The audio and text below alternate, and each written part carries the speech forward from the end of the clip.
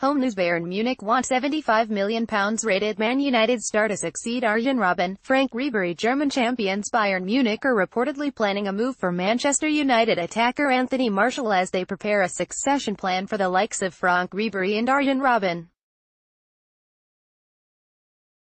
Martial, 22, has been highlighted to be unsettled at Old Trafford by his representative this summer after he was dropped from the starting lineup for Alexis Sanchez during the back end of last season.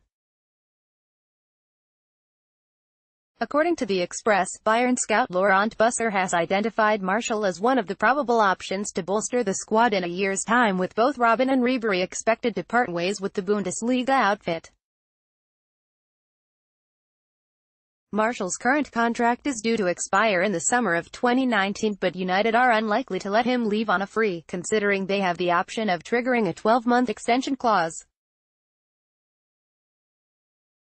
The Frenchman is presently with Jose Mourinho's side for their pre-season tour of the United States and hopefully, he can use the trip to his advantage with Jesse Lingard, Marcus Rashford and Romelu Lukaku unavailable for the early part of the season due to World Cup duty.